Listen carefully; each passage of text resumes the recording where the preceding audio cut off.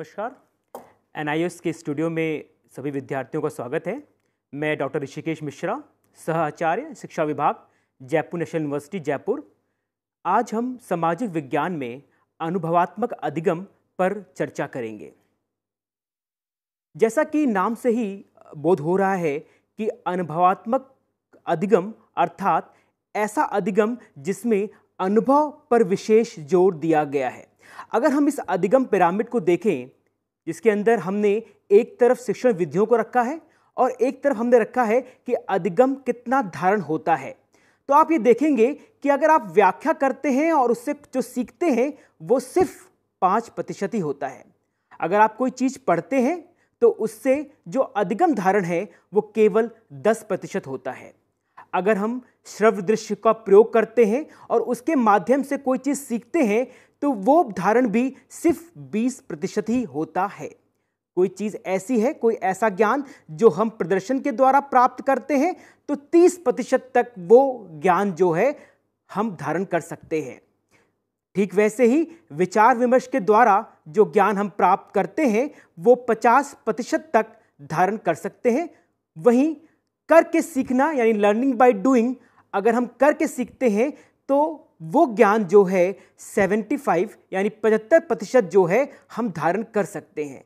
लेकिन अगर हम ऐसा ज्ञान जो दूसरों को देते हुए प्राप्त करते हैं, जहाँ पर अनुभव प्राथमिक होता है, ऐसे ज्ञान का अधिगम धारण जो है 90 प्रतिशत होता है। यानी इससे एक बात समझ आती है कि जिस ज्ञान में अनुभव प्रमुख है, वो ज्ञान ज़्यादा स्थायी होता है और उसका धारण अवधि भी ज़्यादा होती है।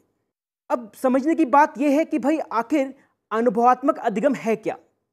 मान लीजिए कि मुझे विभिन्न जानवरों के विषय में पढ़ना है और मैं अपनी सामाजिक विज्ञान की पुस्तकों का अध्ययन करूँ और उसके माध्यम से विभिन्न जानवरों के बारे में ज्ञान प्राप्त करूँ।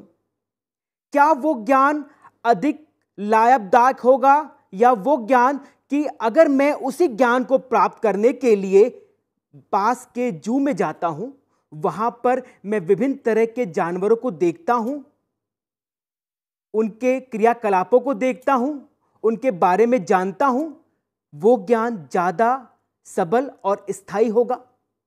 क्योंकि जो ज्ञान हमने अपने अनुभव के द्वारा प्राप्त किया है, वह ज्ञान ज़्यादा स्थायी होता है। यह बात जो है कई शोधों के द्वारा प्रतिपुष्ट हो चुकी है। अगर हम देखें कि अनुभवात्मक अधिगम क्या है तो ये एक प्रक्रिया है जिसके द्वारा अधिगमकर्ता, यानी जो लर्नर है, वो सीधे अपने अनुभवों के आधार पर ज्ञान, कौशल और मूल्यों का निर्माण करता है। जैसा कि आप जानते हैं, जो भी शिक्षा के विद्यार्थी हैं, आप सभी लोग कि भाई जो ब्लूम टैक्सोनॉमी है, उसमें भी तीन चीज़ों पर विशेष बल दिया गया है। और जो तीसरा पक्ष है क्रियात्मक, जिसमें कर के सीखने पर ज़ोर दिया जाता है, वो ज़्यादा प्रमुखता से प्रयोग किया जाता है, क्योंकि उसके द्वारा हमें अनुभव प्राप्त होता है और वो अनुभव हमारे ज्ञान को ज़्यादा चिर स्थायी रखता है। अब बात यह है कि साहब, अनुभवात्मक अधिगम जो है, उसकी प्रक्रिया क्या है?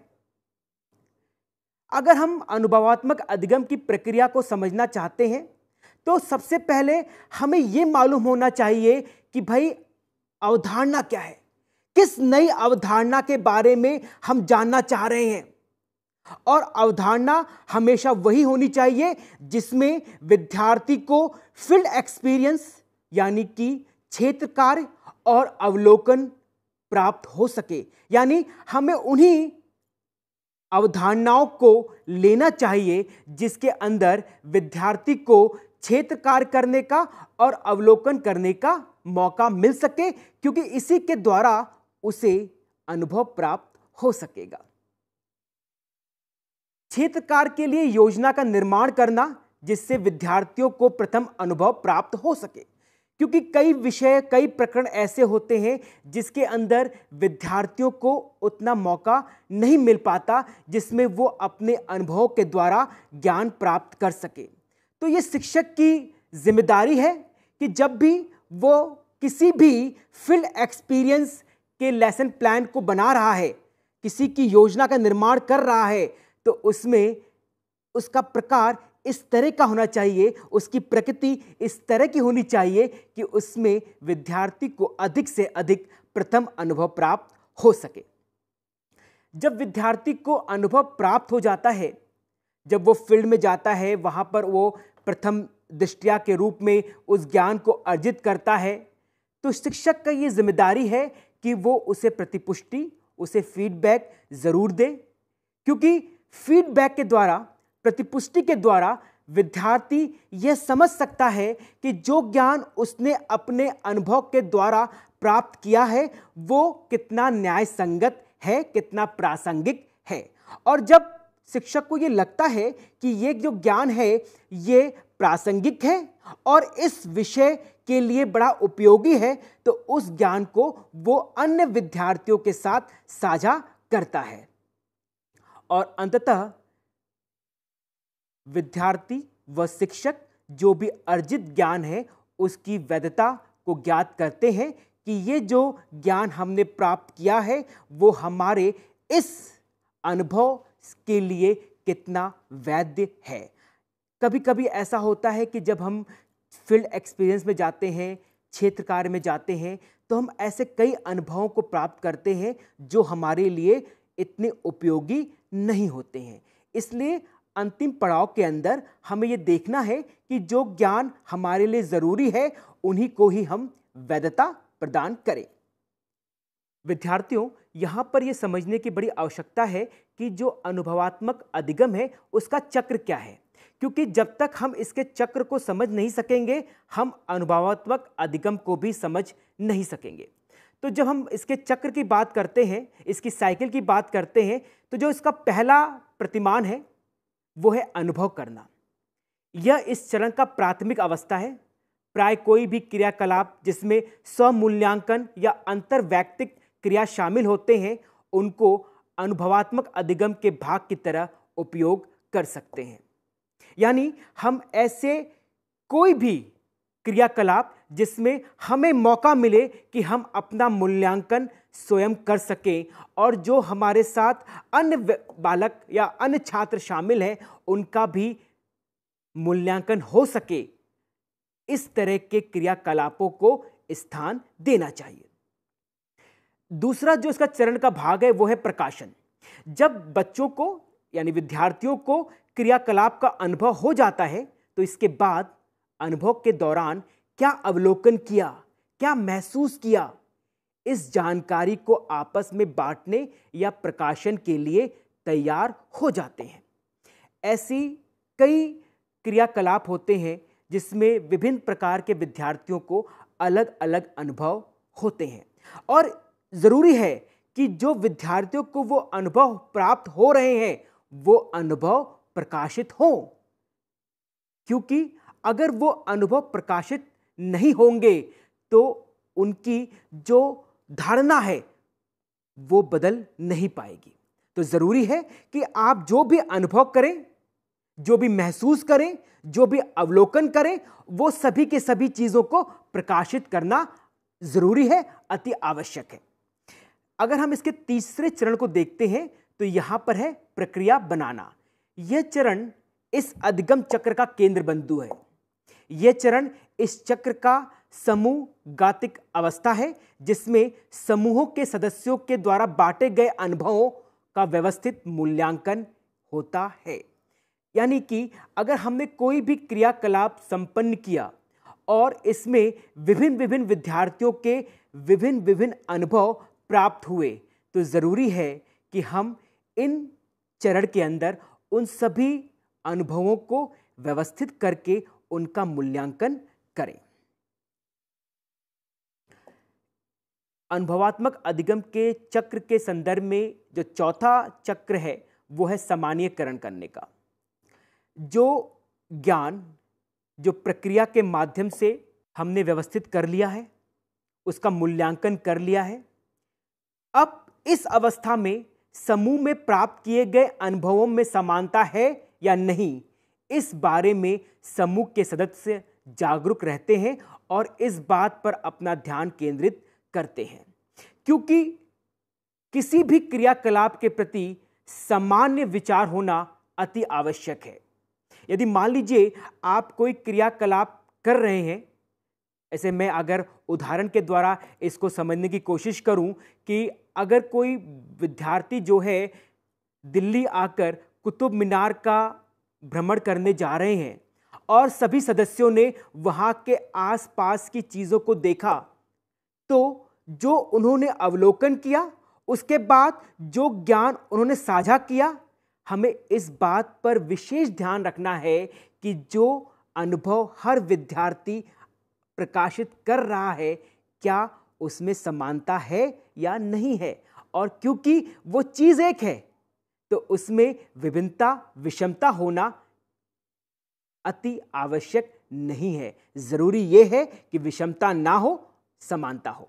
और जब हमें लगता है कि इस क्रियाकलाप के जो ये विचार ये अवलोकन ये अनुभव जो समानीकरण होकर हमारे सामने आ गए हैं अब हम इस अंतिम अवस्था में इनको लागू कर सकते हैं और इसको लागू करने में शिक्षक जो है वो विद्यार्थियों की सहायता करता है। ये एक चित्र के माध्यम से आ, समझने की आप कोशिश कीजिएगा। कि किस तरह से जो पहला इसके अंदर चरण है, प्रयोगीकरण अधिगम के प्रभावी उपभोग की योजना, हमें पहले योजना बनाना है, उसके बाद अनुभव क्रियाकलाप करने हैं, फिर तीसरा प्रक्रिया विधि, पैटर्न और गतिक की चर्चा, जो हमें अनुभव प्राप्त हो रहे हैं, ठीक है। उसके बाद उन अनुभवों को प्रकाशित करना और फिर उनको समानीकरण करके वास्तविक जगत के सिद्धांतों के रूप में विकसित करना। यही अनुभवात्मक अधिगम का चक्र है और इसको समझना अति आवश्यक है।